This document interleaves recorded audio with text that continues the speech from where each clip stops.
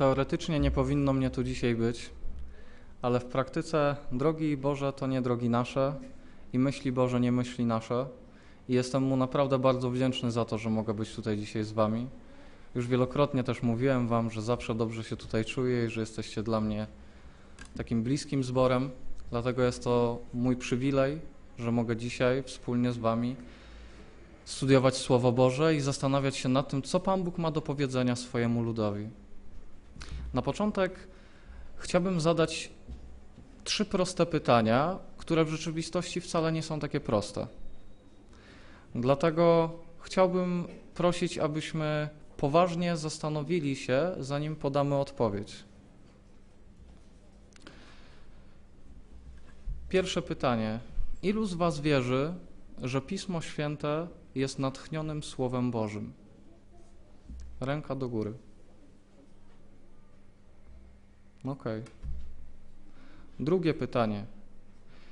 Ile z Was wierzy, że Pismo Święte jest jedynym autorytetem, na którym powinniśmy opierać wszystkie nasze doktryny i nasze życie? I teraz trzecie pytanie. Ilu z Was wierzy, że Kościół Adwentystów posiada wszystkie zasady oparte na Słowie Bożym? Wiecie co, wbrew pozorom to wcale nie są proste pytania, dlatego że nie zawsze wszyscy podnoszą ręce. Chwała Bogu za to, że tutaj jest troszkę inaczej, ale jest to bardzo ważne, abyśmy mieli przekonanie, że wszystko to, w co wierzymy, wynika z Biblii, a nie dlatego, że powiedział tak człowiek. I kiedy ludzie zadają nam pytania różnego rodzaju, to oczekują odpowiedzi nie, że tak zostałeś nauczony, tak e, ci wpojono, tak, tak twój Kościół głosi, ale żądają udokumentowania, tak mówi Pan.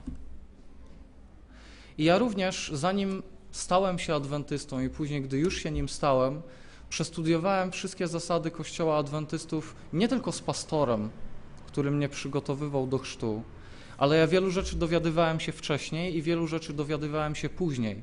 Tak, aby to, w co uwierzyłem, nie było czymś, co ktoś mi w cudzysłowie sprzedał, tak, czy podał, ale żeby to było moje.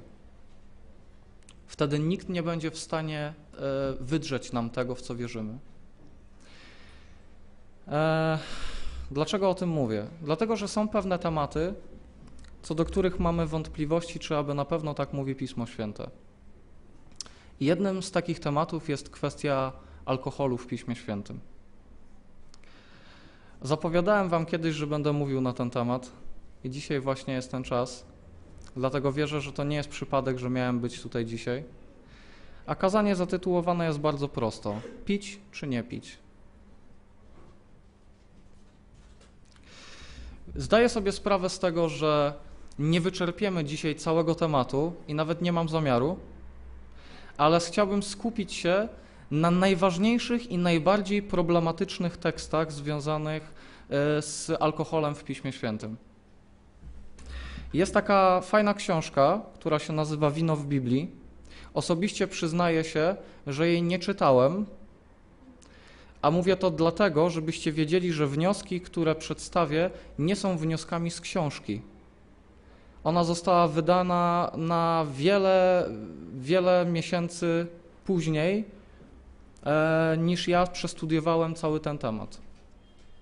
Dlatego, że ludzie często zadają pytania, właśnie między innymi z tego zakresu. I kiedyś ktoś powiedział, że to, że adwentyści nie spożywają alkoholu, wynika z tego, że Kościół ich tak nauczył, a nie dlatego, że tak jest napisane w Biblii. I nie da się tego biblijnie uzasadnić.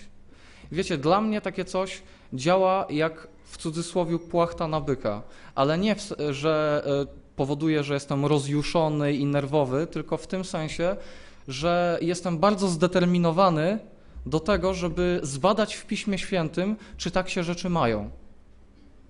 Dlatego, że ja osobiście wierzę w to bardzo głęboko, że Kościół Adwentystów wszystkie swoje zasady opiera na Piśmie Świętym. E, I chciałbym, abyśmy dzisiaj przestudiowali sobie ten temat. Jeżeli przytrzymałbym Wam jakieś z 10 minut dłużej. Gdyby się tak zdarzyło, będę się starał zmieścić w czasie. Proszę, pozwólcie mi, gdyż jest to zbyt ważny temat, żebym mógł go pobieżnie omówić. Pierwszą kwestią, jaką zajmiemy się teraz, to jest kwestia tego, jakie wino było użyte w czasie ostatniej wieczerzy przez Pana Jezusa. Czy biblijnie można to wykazać i jakie to było wino? Chciałbym prosić, abyśmy otworzyli wspólnie 22 rozdział Ewangelii Łukasza. 22 rozdział Ewangelii Łukasza. I tam czytamy wersety 14 do 16. Tu są bardzo istotne szczegóły.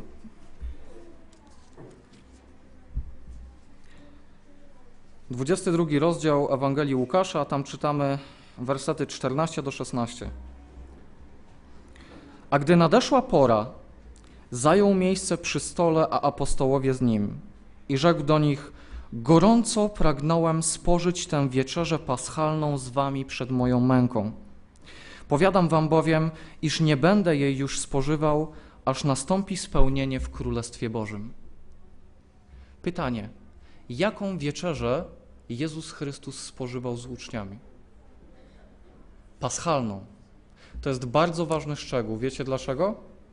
Gdybyśmy e, odwołali się do drugiej księgi Mojżeszowej, do 12 rozdziału, gdzie jest opis Paschy, to tam w wersetach 15 do 20 mamy powiedziane coś bardzo, bardzo ważnego. Druga księga Mojżeszowa, 12 rozdział i tam wersety 15 do 20.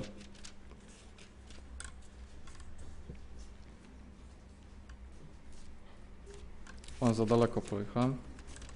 O, już jest. Przez siedem dni jeść będziecie przaśniki. To jest opis Paschy. Już pierwszego dnia usuniecie kwas z domów waszych, bo każdy, kto od pierwszego do siódmego dnia jeść będzie to, co kwaszone, usunięty będzie z Izraela.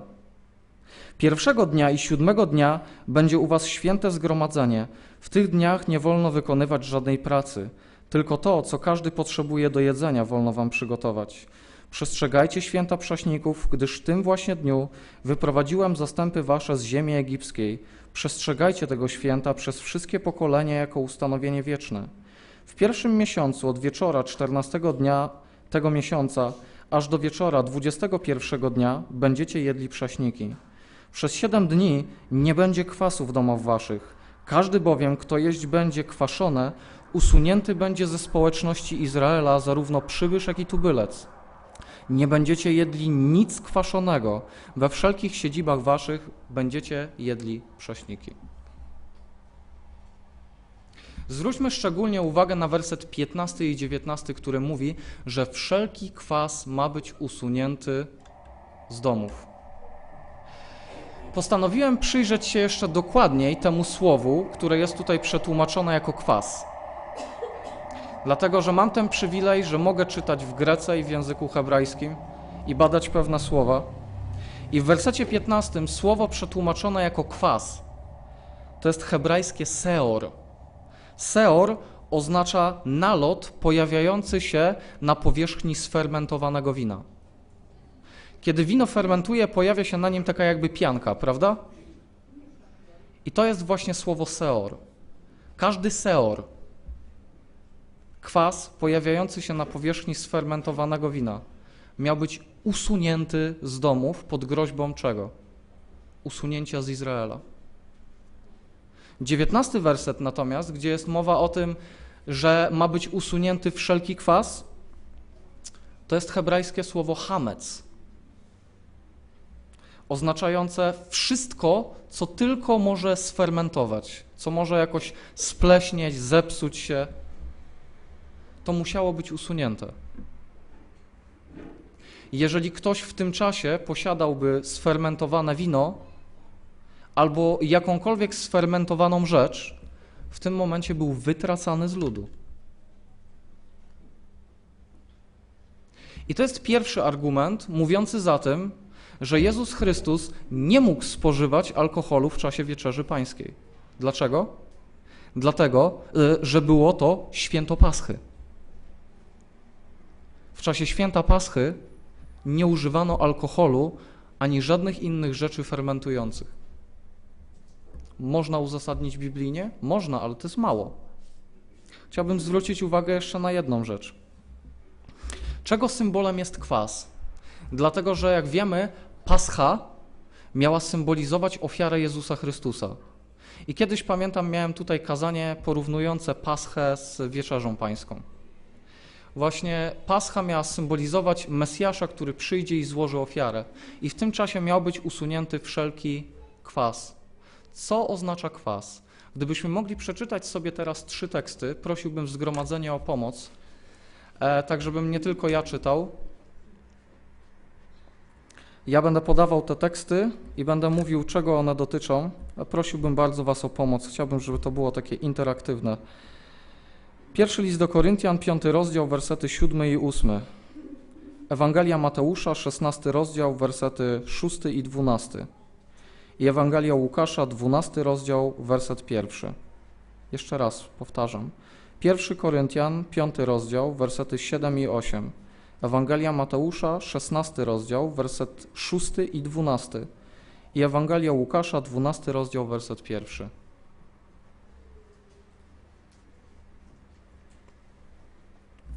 Gdybym mógł prosić o odczytanie. Usuńcie stary kwas, abyście się stali nowym zaczynem, ponieważ jesteście przaśni, albowiem na naszą Wielkanoc jako baranek został ofiarowany Chrystus. Obchodźmy więc święto nie w starym kwasie ani w kwasie złości i przewrotności, lecz w przaśnikach szczerości i prawdy. Dziękuję. Czyli pierwszy list do Koryntian, piąty rozdział, mówi nam o tym, że kwas jest symbolem czego? Złości i przewrotności. A inne przekłady mówią złości i nienawiści.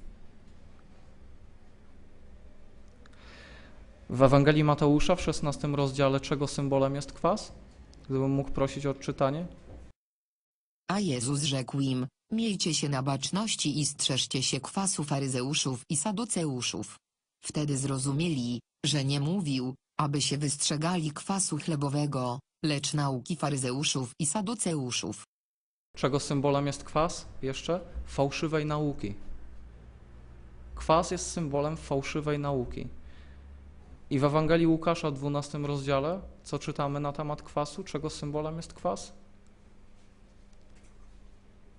12 rozdział, werset pierwszy. A gdy się zgromadziły niezliczone rzesze ludu, tak iż nawzajem się deptali, zaczął mówić najpierw do uczniów swoich, strzeżcie się kwasu faryzeuszów, to jest obłudy. Obłuda to jest kolejna rzecz, która jest symbolizowana przez kwas. A zatem za każdym razem, zwróćmy uwagę, ma to konotacje negatywne, tak? Jest związane z grzechem. Ale nie wystarczy, żebyśmy byli świadomi tego, że to jest symbol grzechu i tyle. Tu jest konkretnie wymienione, czego symbolem jest kwas. Złości i przewrotności, fałszywej nauki i obłudy. To wszystko miało być usunięte. Dlatego też, gdy przygotowujemy się na przykład do wieczerzy pańskiej, powinniśmy pogodzić się ze sobą nawzajem, pozwolić Bogu, żeby oczyścił nasze serca i tak dalej. To jest bardzo ważne. Bo Mesjasz miał przyjść, aby oczyścić lud z grzechu. I to było symbolizowane przez usunięcie kwasu. Tam nie było mowy o jakimkolwiek alkoholu. Ale to nie wszystko jeszcze. Oprócz tekstów biblijnych będę się troszkę odwoływał do greki, dlatego wybaczcie mi, ale jest to ważne, żebyśmy coś zrozumieli. W języku oryginalnym, zarówno w hebrajskim, jak i w greckim, jest jedno słowo na określenie wina. Dzisiaj też mamy wyraz, y, wyrazy, które są wieloznaczne, tak? Na przykład zamek.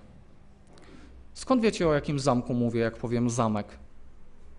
Zamek może oznaczać rozporek w spodniach, może oznaczać zamek w kurtce, może oznaczać zamek do drzwi, może oznaczać zamek jako budynek, tak? Skąd wiecie, o jakim zamku mówię? Trzeba zwrócić uwagę na kontekst, tak? I tak samo tutaj. Pismo Święte ma tylko jedno słowo na określenie wina, zarówno w hebrajskim, jak i w greckim. W hebrajskim jest to słowo tirosz, natomiast w greckim jest to słowo oinos. I tylko z kontekstu możemy wywnioskować, o jakie wino chodzi. A tymi słowami są nazywane trzy rodzaje wina w Piśmie Świętym. Trzy rzeczy są nazwane winem. I to na przestrzeni całego Pisma Świętego można mnóstwo tekstów podać. Ja bym chciał tylko z jednej księgi, przykładowo, żebyśmy zobaczyli, z księgi Izajasza. Zapraszam, żebyśmy otworzyli księgę Izajasza, 62 rozdział, werset 9. Księga Izajasza, 62 rozdział, werset 9. I czytamy tam takie słowa. Lecz ci, którzy zbierają zboże, sami będą je spożywać i wysławiać Pana. A ci, którzy zbierają wino, sami będą je pić w przedsionkach mojej świątyni. I teraz pytanie, co oni zbierali? Butelki zrywali z krzaka? Winogrona, owoc. A zatem wino to winogron. To jest pierwsze znaczenie. Gdybyśmy o jeden rozdział dalej poszli, 63, werset drugi, to tam czytamy: Skąd ta czerwień twojej szaty, a twoje odzienie jak u tego, który wytłacza wino w tłoczni? O jakim winie jest tu mowa? Co się wytłacza w tłoczni? Alkohol? Sok. Więc wino jest, je- winem jest również nazywany sok gronowy, wyciśnięty z winogron. I 65 rozdział, werset 8. Nawet na podstawie jednej księgi można to pokazać. Tak mówi Pan. Jak się mówi o winogronie, w którym znajduje się winny sok, nie niszcz go, gdyż w nim jest błogosławieństwo. W jaki sposób można zniszczyć winogronowy sok? Czy można go, nie wiem, pokroić na przykład, albo nie wiem, w jakiś sposób inny zanieczyścić? O co tutaj chodzi? O fermentację. A zatem wino oznacza również alkohol. Jakie wino było w czasie ostatniej wieczerzy? Czy jest jeszcze jakiś argument, który możemy przytoczyć, że było to wino bezalkoholowe? Gdybyśmy weselem zaraz się zajmiemy. E, gdy czytamy opis ostatniej wieczerzy, tam Pan Jezus mówi: Gorąco pragnąłem spożyć tą wieczerzę paschalną przed waszą męką, ale już nie będę pił odtąd z owocu winnej latorośli, tak? Aż będę je na nowo pił w królestwie Ojca mego. Czytamy o tym w Ewangelii Łukasza 22:18. I to słowo winnej latorośli, z owocu winnej latorośli, to są dwa greckie słowa. Tam nie pojawia się słowo oinos, tam nie ma wina. Tam jest genema ampelos, owoc winnej latorośli. Zestawienie tych dwóch słów występuje zawsze w odniesieniu do winogronowego soku. A już nawet w języku polskim widzimy, że Pan Jezus nie używa słowa wino, tylko owoc winnej latorośli. Więc co ma na myśli? Sok. Widzimy, że Pan Bóg nie może być sprzeczny sam w sobie, tak? Jeżeli coś mówi, to w drugim miejscu sobie tego nie zaprzecza. A zatem mamy biblijne przesłanki do tego, żeby wierzyć, że Pan Bóg nie chce tego, abyśmy spożywali alkohol. Mało tego, jeszcze jeden tekst z samej Wieczerzy Pańskiej, gdybyśmy czytali Mateusza 26 rozdział, wersety 27-28. Do czego przyrównuje Jezus Chrystus wino? Jak mówi o winie? To jest krew moja. I teraz pytanie, skoro wino w czasie Wieczerzy Pańskiej miało symbolizować krew Pana Jezusa, to jakie musiało być? Nieskalane niesfermentowane. Dlaczego? Bo według listu do Hebrajczyków 4:15 Jezus Chrystus nigdy nie zgrzeszył. A skoro kwas jest symbolem grzechu, to jak alkoholowe wino może symbolizować świętą krew Syna Bożego?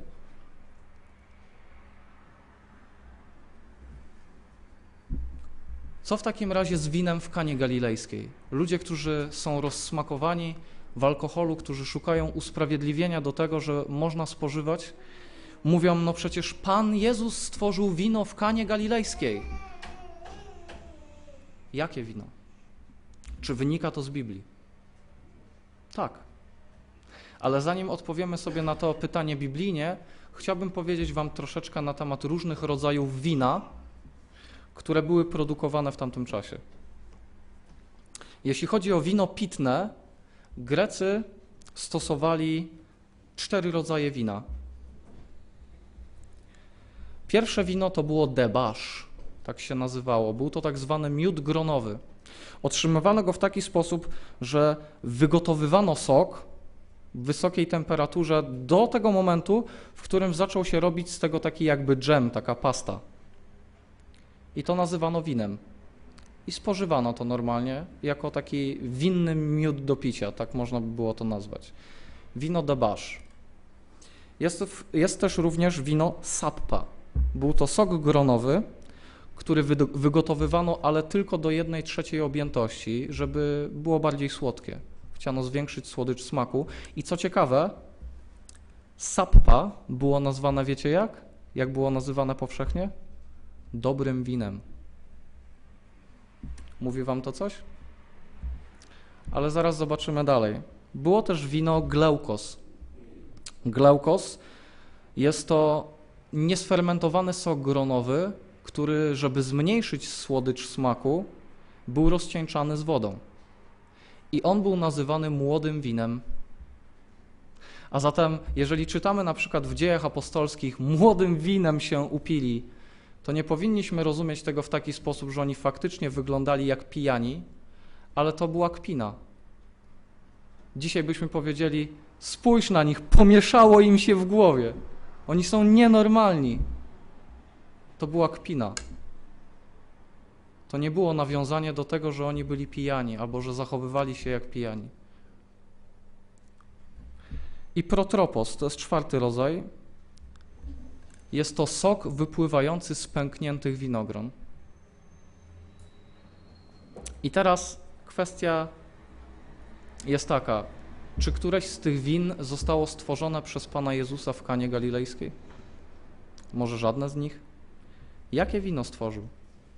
Otwórzmy wspólnie, proszę, drugi rozdział Ewangelii Jana, werset 9 i 10.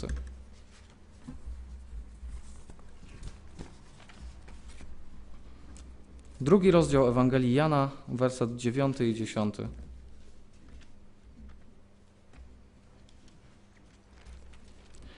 I czytamy. Gdy gospodarz wesela skosztował wody, która stała się winem, a nie wiedział skąd jest, lecz słudzy, którzy zaczerpnęli wodę, wiedzieli, przywołał oblubieńca i rzekł do niego: Każdy człowiek podaje najpierw dobre wino, a gdy sobie podpiją, wtedy gorsze. A tyś dobre wino zachował aż do tej chwili. I mamy tutaj dwa problemy do rozwiązania. Po pierwsze, o jakim winie jest tu mowa, a po drugie, co to znaczy, że sobie podpili? Pozwólcie, że znowu odwołam się do języka, w którym zostało spisane Pismo Święte, bo to jest ważne, żebyśmy zrozumieli to. Dzisiaj będę troszkę na tym bazował. E, kiedy gospodarz wesela mówi na temat dobrego wina, on na określenie wina używa tego słowa oinos, to już mówiliśmy, co to znaczy, ale określa je słowem kalos. Ono jest przetłumaczone jako dobry. Kiedy sprawdziłem w słowniku, co oznacza słowo kalos, to natknąłem się na takie znaczenie. Posłuchajmy. Dobry, piękny, doskonały, wolny od usterek, nienaganny, bez zarzutu, czysty, szlachetny, cenny, użyteczny, przyjemny, dogodny. Czy ma tutaj jakiekolwiek złe znaczenie to słowo? Najbardziej zastanawiające dla mnie jest doskonały, nienaganny, wolny od usterek. I czytamy, że Pan Jezus stworzył kalos oinos, tak? Dobre wino. Już sam tekst oryginalny pokazuje nam, że e, to było wino bezalkoholowe, ale czy z samej polskiej Biblii możemy wywnioskować to? E, I czy w tamtym czasie w ogóle na weselach spożywano wino alkoholowe? To jest kwestia do rozwiązania. Zauważmy, że Pan Jezus, kiedy miał stworzyć wino, on nakazał, aby napełniono stągwie wodą, tak? Były dwa rodzaje stągwi używanych w tamtych czasie.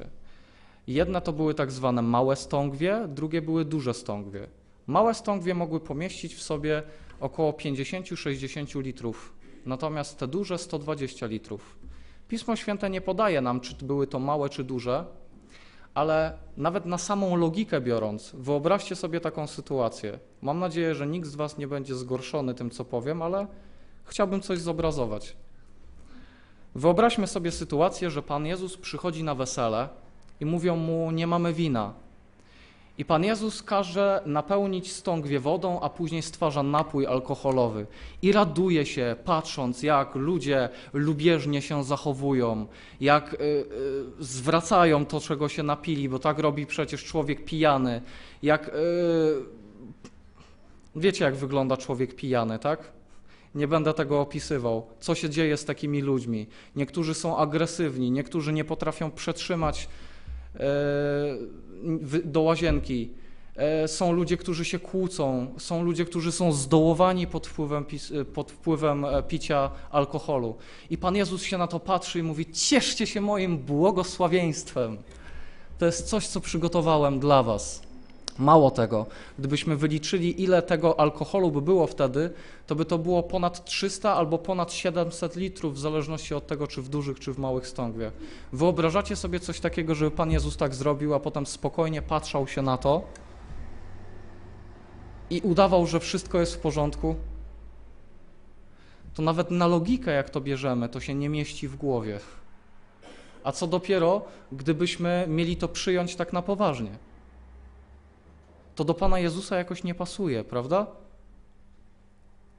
Tym bardziej, że Jezus Chrystus był dawcą przykazań, a w przykazaniach jest powiedziane: Nie będziesz zabijał. Alkohol zabija nas. Czy Jezus Chrystus złamałby przykazania swojego Ojca, a potem powiedziałby wszem i wobec: Ja zawsze czynię to, co się Ojcu mojemu podoba? Bo przecież tak powiedział. Byłby kłamcą i bluźniercą, gdyby tak powiedział, a w rzeczywistości stworzyłby e, wino alkoholowe w czasie wesela w Kanie Galilejskiej. Nie do pomyślenia. I tak jak mówię, sam tekst oryginalny mówi nam o tym, że było to wino bezalkoholowe. A co chodzi, o co chodzi z tym podpiciem? Słowo podpicie, metuo inaczej, oznacza faktycznie podpić sobie, upić się, ale ma też drugie znaczenie być wypełnionym pokarmem, napojem do granic możliwości. Gdybyśmy przyjęli to drugie znaczenie, to słowa gospodarza należałoby odczytać w taki sposób. Coś ty najlepszego człowieku zrobił. Na początek stawia się zawsze to, co najlepsze, bo wtedy ludzie najwięcej tego spożyją. Teraz, gdy są już najedzeni i napici, ty przynosisz takie dobre wino? Nie będą mogli w pełni z tego skorzystać. Czy raczej nie o to chodzi w tym tekście? Zastanówmy się nad tym. A co z tekstem z listu do Tymoteusza? Zazwyczaj mówi się, że wino jest dobre na trawienie. Można się napić troszeczkę, żeby lepsze trawienie było, poprawi mi to pracę układu krwionośnego, jest dobre na serce, tak? Ale tutaj też bym miał wątpliwości, czy chodzi o wino alkoholowe. I to z kilku powodów. Po pierwsze, dlatego, że zarówno Paweł, jak i Tymoteusz były ludzi, ludźmi poświęceni Panu Bogu. Składali Panu Bogu śluby czystości. Nawet czytamy o apostole Pawle i o Tymoteuszu, jak przyszli do świątyni razem, tak? Dokonując obrzędu oczyszczenia. Więc byli tak jakby bożymi Nazyrejczykami. Osoby, które były związane ze służbą dla Boga w jakimkolwiek zakresie, czy byli kapłanami, czy Nazyrejczykami, czy w jakikolwiek inny sposób e, mu służyli, e, musieli ślubować czystość również pod względem niespożywania napojów alkoholowych. Przykładem może być Samuel, Samson na przykład, tak? Który później nie wytrwał w, w tym ślubie, ale to jest inna rzecz. Ale generalnie tak było przyjęte. To jest, to jest pierwsza rzecz.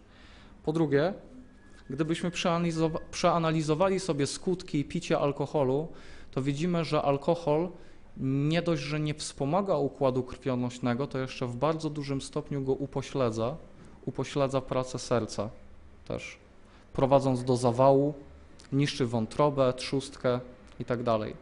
Więc na pewno nie ma dobrotliwego działania. W takim razie, co się dzieje w momencie, w którym ludzie spożywają wino alkoholowe i mówią, że mają lepsze trawienie i że lepiej się po tym czują?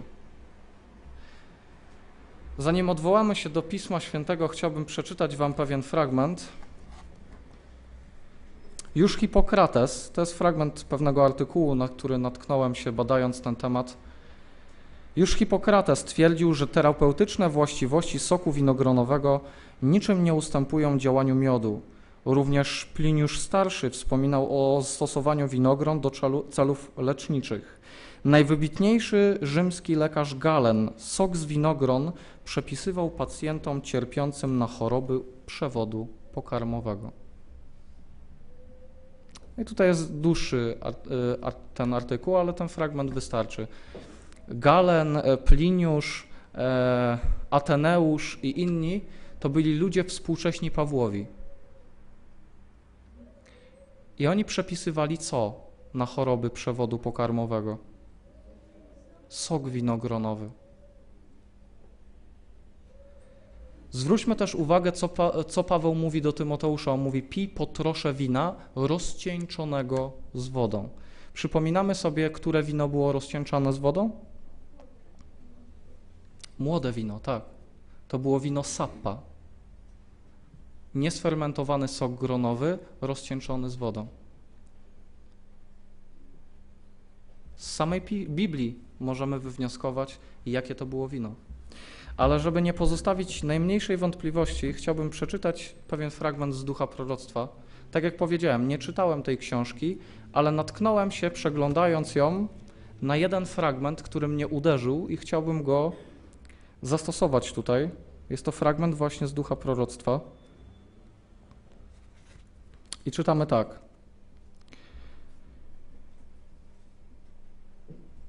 Paweł zalecał Tymoteuszowi używania po trosze wina na jego kłopoty żołądkowe i częste niedomagania, ale miał na myśli niesfermentowany sok gronowy. Nie radził on Tymoteuszowi używania tego, co przez Pana zostało wyraźnie zabronione. To jest fragment z ducha proroctwa, konkretnie e, ze znaków czasu z 6 września 1899 roku. Duch proroctwa potwierdza biblijne stanowisko, że nie należy spożywać alkoholu, lud Boży nie powinien spożywać alkoholu. Jakie są jeszcze inne teksty, które o tym mówią? Cztery teksty przeczytamy. Mam tutaj dokładne studium, ale będziemy czytać tylko cztery fragmenty i króciutko to omówię. Przypowieści Salomona, 23 rozdział, wersety 31 do 35. Przypowieści Salomona, 23 rozdział, wersety 31 do 35. Ja większość z tych tekstów będę czytał, ale chciałbym prosić jednak jedną czy dwie chętne osoby, które mi też pomogą. Przypowieści Salomona, 23 rozdział, wersety 31 do 35 i o jeszcze jeden tekst bym prosił. 1 Koryntian, 3 rozdział, wersety 16 i 17. Najpierw ten z przypowieści. Nie patrz na wino, jak się czerwieni, jak się skrzy w pucharze i lekko spływa do gardła. Bo w końcu ukąsi jak wąż, wypuści jad jak żmija, twoje oczy oglądać będą dziwne rzeczy, a twoje serce mówić będzie opaczne słowa, i wyda ci się, że śpisz na pełnym morzu i że jesteś jak śpiący przy sterze okrętu. Bili mnie, a wcale nie bolało, tłukli mnie, a nic nie czułem. Jak tylko wytrzeźwieję, znów do niego wrócę. Dziękuję bardzo. Więc ten tekst mówi o czym? O negatywnych skutkach spożywania alkoholu. Mówi tutaj o człowieku, który się zatacza, który nie czuje bólu, który nie ma świadomości tego, co się dzieje z nim po spożyciu alkoholu. I mówi o tym, że nie ma czegoś takiego jak bezpieczne spożywanie alkoholu. Dlatego, że on mówi, nawet jeżeli z początku wydaje ci się, że się ładnie skrzy, że wszystko jest ok, to z czasem ukąsi cię jak żmija. Czy tak się dzieje? Czasami zaczyna się od jednego kieliszka, ale na jednym kieliszku później się nie kończy. I człowiek popada w alkoholizm. I pije, i pije, i pije, dopóki nie zejdzie z tego świata. Przerabiałem to na sobie na przykład. Wiem, że wielu ludzi też doświadczyło czegoś takiego. Moi rodzice zapili się na śmierć przez spożywanie alkoholu, ponieważ nie potrafili się z tego wyrwać, a zaczynało się wszystko od jednego kieliszka. Już jeden malutki kieliszek obniża koncentrację do tego stopnia, że można się zabić jadąc samochodem. Więc proszę, niech nikt nie mówi mi o umiarkowanym spożyciu alkoholu. Alkohol rujnuje życie.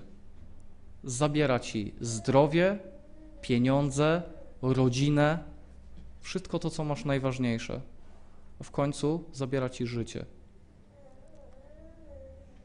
Dlatego Pan Bóg powiedział: Nie spożywaj. Pierwszy list do Koryntian, trzeci rozdział, wersety 16-17.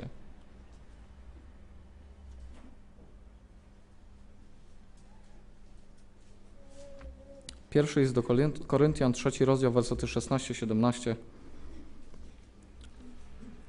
Też bym prosił o pomoc. Ja później następny odczytam już i kolejne. Czy nie wiecie, że świątynią Bożą jesteście i że Duch Boży mieszka w was? Jeśli ktoś niszczy świątynię Bożą, tego zniszczy Bóg, albowiem świątynia Boża jest święta, a wy nią jesteście. Dziękuję bardzo. Zwróćmy uwagę, co tutaj w tym tekście jest powiedziane. Zostaliśmy nazwani świątynią Bożą. Gdybyśmy odwołali się do Starego Testamentu, co się działo w momencie, w którym Bóg zamieszkiwał w świątyni i ktoś znajdował się w świątyni? Ludzie nie byli w stanie wytrwać tam i wystać z powodu chwały, która wypełniała to miejsce. A jeżeli ktoś niegodny znalazł się w świątyni w tamtym czasie, co się działo? Ginął, umierał. A w momencie, w którym była zbezczeszczona świątynia, co się działo? Bóg opuszczał świątynię, tak? W momencie, w którym zanieczyszczamy świątynię, którą jest nasze ciało, tak mówi Słowo Boże, w tym momencie wyrzucamy Pana Boga z naszego życia. Mówimy Mu: Ja Ciebie nie chcę. Nie chcę mieć z Tobą nic wspólnego. Nie chcę spełniać Twoich przykazań. A przynajmniej nie w takim stopniu, jak Ty oczekujesz tego ode mnie. To jest na takiej zasadzie Panu Bogu świeczka, a diabłu ogarek, tak? Jeżeli szatanowi zostawisz chociażby najmniejszą furtkę w Twoim życiu, zniszczy Cię. Jemu naprawdę dużo nie trzeba. Dlatego wyraźnie jest powiedziane: jeżeli jesteś świątynią ducha, jeżeli chcesz, aby Bóg mieszkał w Tobie i Cię prowadził, nie zanieczyszczaj świątyni. Bo Bóg nie będzie mógł mieszkać w świątyni, która jest zanieczyszczona. No ale ktoś powie, no dobrze, ale do tej pory nie przeczytaliśmy żadnego tekstu, w którym było bezpośrednio napisane nie możesz pić. Nie ma takiego tekstu, mówią ludzie. Jest? Trzecia Mojżeszowa, dziesiąty rozdział.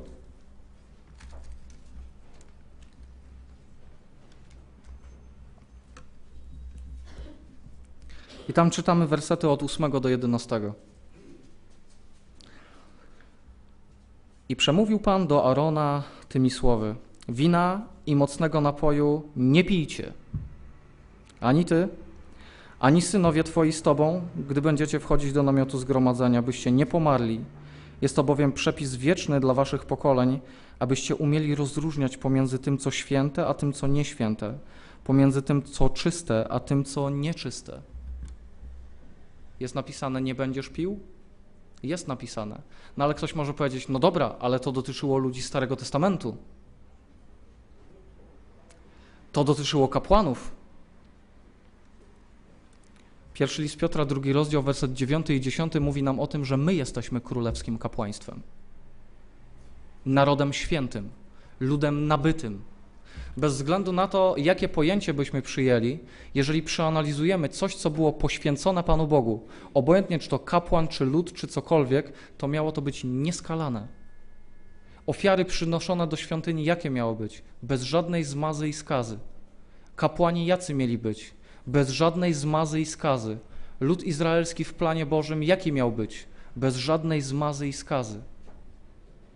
Jesteśmy dziedzicami tego, co lud izraelski dzierżył w Starym Testamencie. Dlatego, że Pismo Święte, Nowy Testament mówi o tym, że nie ma już Żyda i Greka, nie ma niewolnika i wolnego. Wszyscy jesteśmy jedno w Chrystusie Jezusie i jeżeli oddaliśmy się Chrystusowi, wtedy jesteśmy potomkami Abrahama, dziedzicami według obietnicy. Czytamy o tym w liście do Galacjan, do Efezjan i w wielu innych miejscach. Nie ma już czegoś takiego jak tylko dla Żydów. Kapłanami jesteśmy my. Choć nie, ubieram, nie ubieramy biretów, diademów, nie chodzimy w efodzie, ale jesteśmy reprezentantami Boga, a to, co reprezentuje Boga, ma być święte. Tak mówi Słowo Boże. Ale gdyby był tylko jeden jedyny argument w Piśmie Świętym, a to będzie ostatni, gdyby był tylko jeden jedyny argument za tym, że nie należy spożywać alkoholu, to w tym momencie dla mnie osobiście ten by wystarczył, który teraz przeczytam. Z Ewangelii Mateusza z 27 rozdziału. Ewangelia Mateusza, 27 rozdział. I tam czytamy werset 34.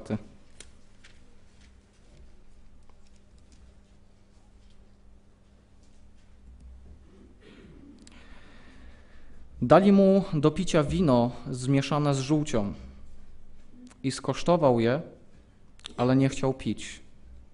A Ewangelia Marka 15:22 mówi: Podali mu do picia wino zmieszane z żółcią, ale on nie przyjął.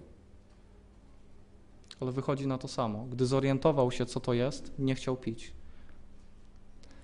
Nawet w sytuacji, w której byłoby to uzasadnione, którym można by to było tłumaczyć tym, że chciał jakiś środek znieczulający, bo cierpiał niesamowity ból.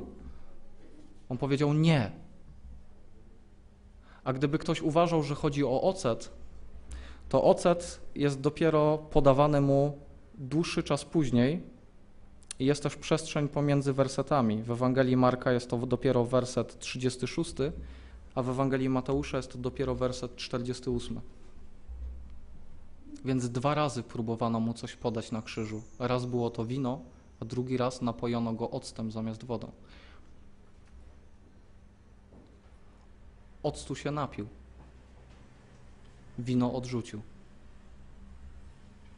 Skoro jesteśmy chrześcijanami, czyli naśladowcami Jezusa Chrystusa, to powinniśmy się starać Go we wszystkim naśladować, również w abstynencji.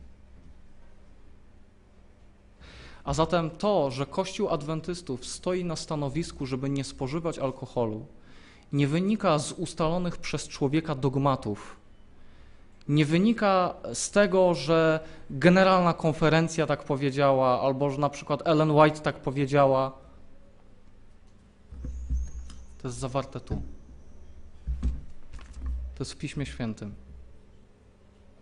A zatem ponawiam pytanie.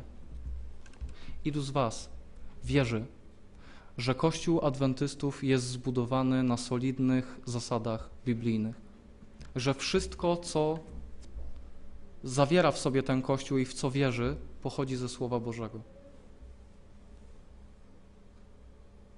I oby Pan Bóg dał, żeby Jego Słowo stało się na zawsze dla nas autorytetem we wszystkim, również w tym, i aby naszym przywilejem było to, że Mu służymy, a nie jakimś uciążliwym obowiązkiem. Chciałbym prosić zgromadzenie o powstanie.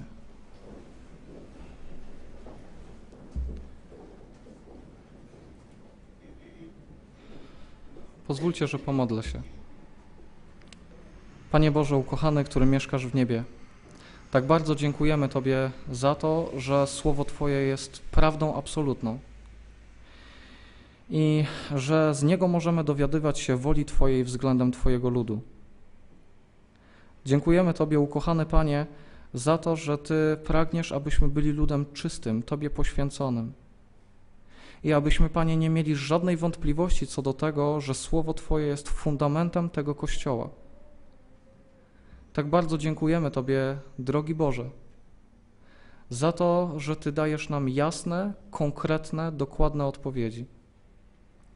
Dziękujemy Tobie, Panie, bardzo za to, że Ty pragniesz nas uświęcać, Ty pragniesz, abyśmy stali się, stawali się coraz bardziej podobni do Ciebie. Prosimy Ciebie, Ojcze, o to, abyś dał nam Twego ducha. Ducha, który będzie wprowadzał nas we wszelką prawdę, który będzie nas przekonywał o potrzebie Zbawiciela i który uczyni, uczyni nas świątynią Twoją, w której będziesz mógł swobodnie z radością zamieszkać. Prosimy, Panie, abyśmy jako Twój Kościół mogli być świadectwem dla tych, którzy na nas patrzą, zarówno dla aniołów, jak i dla ludzi. Ku chwale Twojej o to prosimy w imieniu Jezusa. Amen.